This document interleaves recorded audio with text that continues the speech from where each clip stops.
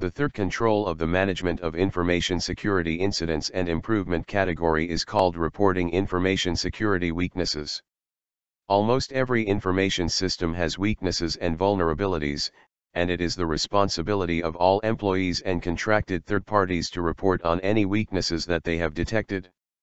An organization should assign points of contact that employees can report to, and this assignment should be communicated to all employees, and made easily accessible once needed. The communication channels should be made clear, and employees should be trained on reporting weaknesses. Reporting weaknesses by third-party contractors should be defined and explained in the supplier agreements. Procedures on how and what to report should be defined as well, and reporting of weaknesses should be done in a timely manner.